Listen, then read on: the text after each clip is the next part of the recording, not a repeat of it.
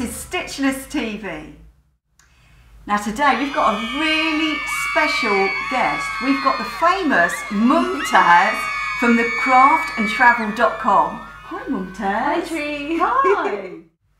so Momtaz, tell us about craftandtravel.com. Well, it's a blog that I set up about my two favourite things, which is basically crafts and travelling around the world. And I thought it'd be really nice to look at the different crafts that you can get in different countries because every country has got its own different craft specialities. So, like in India, there's loads of different types of embroidery. Yeah, in wow. Kenya, you've got you know, your specific like Maasai beading. So, I really like my hobbies literally travelling, going to different countries and looking at what crafts they have going on. And I thought it'd be really nice to pull that all together and share it in the form of a blog, which is what I do on the website. Which does sound a bit like a dream, doesn't it? Good God, lucky you! So tell us about the fabric Mm. that we're using today. Today, we're going to make an oversized bum bag or oversized clutch bag for Momtaz using this fantastic fabric. Have a look at this. So whenever I go away on travels, I always bring back a craft item just to kind of remind me, kind of like memorabilia. So what I decided to do was actually take photos of some of the products that I bought abroad and then use that as my fabric. There's actually some fabric pieces that I bought in India um, from the West Bengal craft fair. And I can see them over yeah, there. I brought it along, and it's such a gorgeous embroidery. But I Oh. thought, you know what, I could use this as something. But by having a photo of it, I kind of get to use it Oh. again. Well, you're coordinated as well. Wow. So I've got that one. Um, and one of my travels I did this year was actually to Central America. I've always been obsessed with like Guatemalan textiles. They have such gorgeous fabrics. And I Oh, saw a street seller, and she was just walking along the streets with this over her arm, and she was selling it. And I was just like, wow. I mean, look at the colours on that. Oh, look at all of that. That's just like treasure. Oh, just it is treasure. It is treasure, isn't it? So let's look at some thinner ones Yeah. for framing the pictures. So, so, So this pile of goodies um, I picked up in Green Street at the weekend. So Green Street is where? It's in East London, and it's like a haven't South, been, haven't been. I'm going next week. it's a South Asian shopping um, area. There's lots of clothes shops, lots of fabric shops, and lots of places to get trims. So, So I what like station? uh, Upton Park station Upton on the Park. District Line. District Line. Just get off. You're at the edge of uh, Green Street. You just as soon as you come out, you walk down, and it's just like another world. The whole street I'm is there, filled, filled Next with week. goodies. Um, so I picked these up again. I didn't know what I was going to do with these. I just liked the trims, so I just stocked up on trims.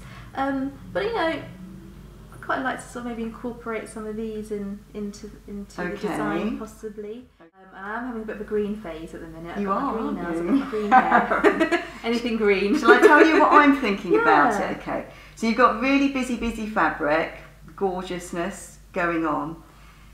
So I, I think it would be nice to start off just by framing it with all of the same. Now I know you like a kind of eclectic Mm. thing, but I would start off like that. And, and this is a good way for the velvet, because this is actually velvet. We didn't say that. This is velvet.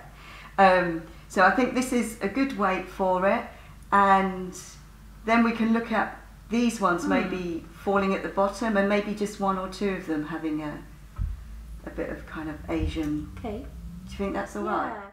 Yeah. Okay, so that's fine. So we're going to begin by adding the green, don't know what we call it, edging, Trim. uh, trim, trim ar- around the pictures. And the way that I think is the best way to add these things so that they don't move around is by using a zigzag stitch. So we're going to do that first of all. So look, we did this test piece and I think it looks really luxurious. So we're definitely going to go ahead with the green.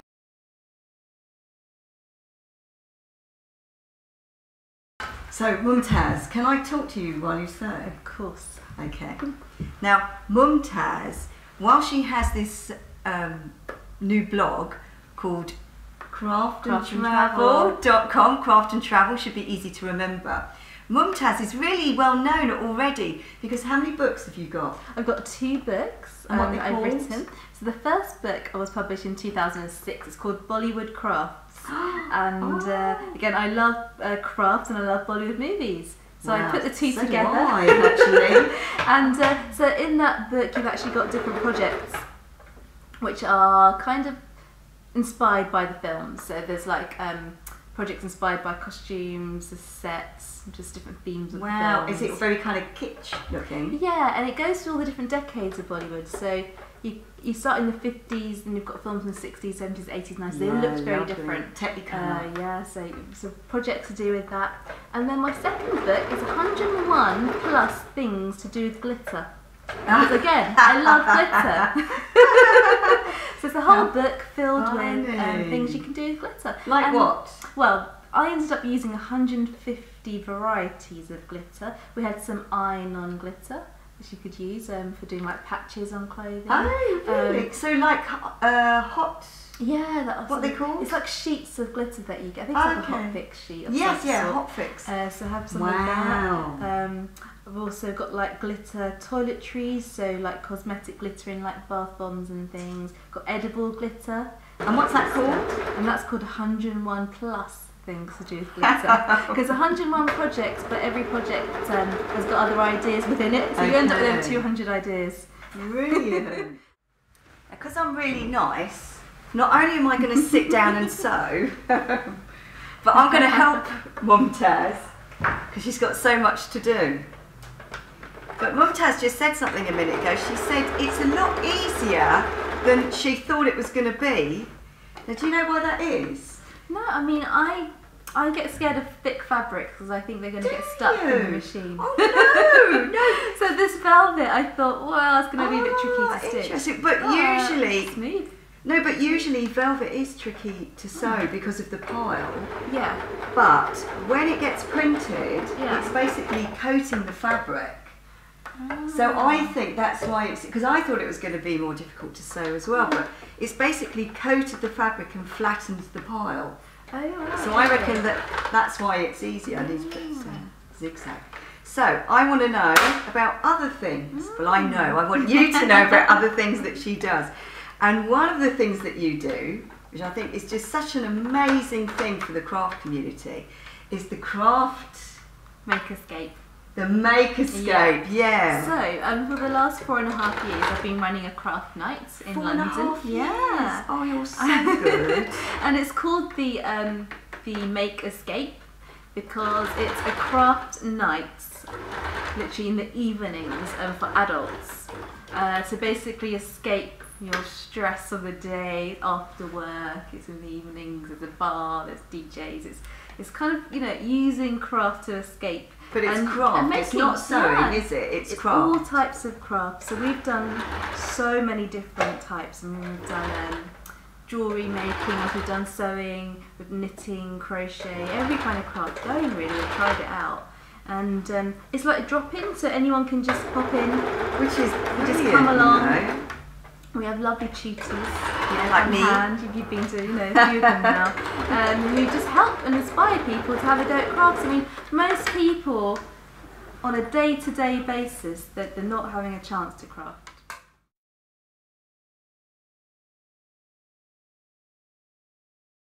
So I thought you'd like to have a look.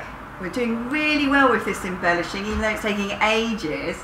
We've had a bit of a mass production line going on. But look at what we've got so far. So Momtaz wanted to use some of that stuff from where? Where Green? Street. Green Street, yeah. Yeah. So this is the stuff from Green Street. And it was very, very easy to sew.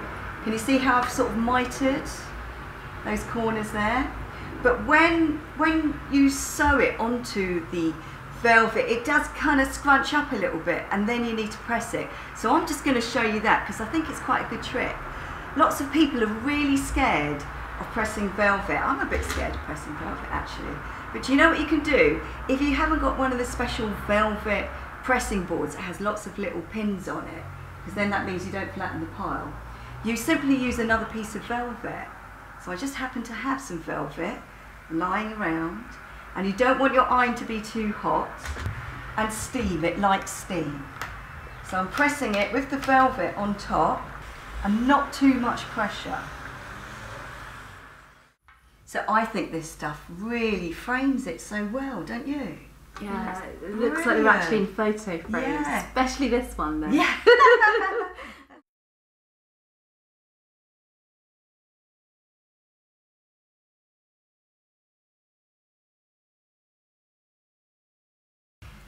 So I've got this webbing stuff that Momtaz reckons looks like car seat, but it does actually. and these are for adjusting the straps. You can sort of buy these from haberdashery shops. And this is one of the little buckle closure things.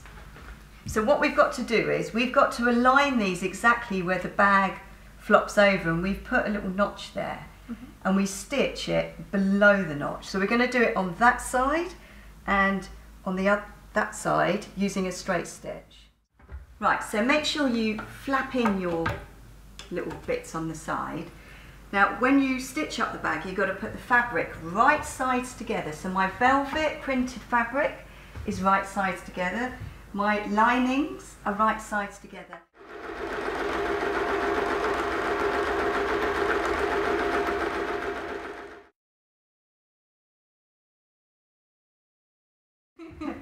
Okay, Momtaz has only got 10 minutes until she gets her train. She's just stitched up that side, she's stitched up the other side, and now she's going to stitch up the bottom. Very, very important that when you do all of this, you leave your zip open. I'm just checking that we actually have. If you don't leave your zip open at this stage, you'll finish your bag and you won't be able to turn it the right way. So, Momtaz, I want you to line up the bottom, okay? Yeah. And sew all the way along the edge, but you've got a little bit of help because you've got this stitch line. So mm-hmm. just using a straight stitch. So this is, we've stitched up the bottom, really scary bit. We've got to trim back our bolt. It's always really nerve wracking and scary, but you just got to go for it. So that's where the zip is.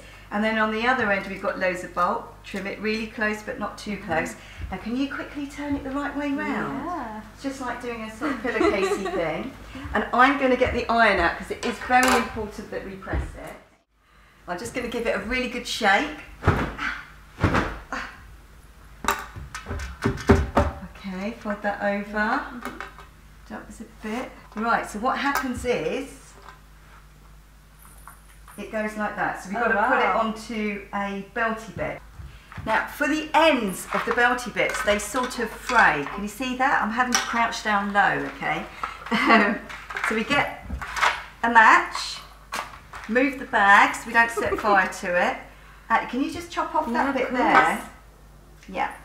And look what happens. When I do this, I just sort of melt the ends and it will stop it from fraying. So any exposed ends, I need to do that too. So I think it's just those two. Wow. So I'm not going to show you. I'm not going to Wow. show you how to do how to put it all together because you might be able to figure it out. But if you want to know, I could do a tutorial just on how to put together the webbing with the belt buckle. It's looking so much like a carpet bag. So that's probably enough, I reckon. One last time. Oh, okay, just be on the safe side. Okay. And then we're going to see what it looks like on Momtaz before she whizzes down to the station. so look at that! That's just so amazing! Like the best bag ever. Is it? And yeah, it's oh, incredible. oh, I think it it's feels amazing. And let's see love inside. trimmy bits and oh. Wow, look at that lining. Crazy lining. Yeah, stunning. I can fit loads of stuff in there. Yeah, you can fit bodies So- in there, can't you? It's enormous. So thank you, Momtaz. Thank you so That's much, so brilliant. Wasn't she Oh. good? so don't forget to take a look at Momtaz's new blog, which is called Craft and Travel. Travel.com. So look out for it. Thank you so much for watching and see you again really soon. We'll do some close-ups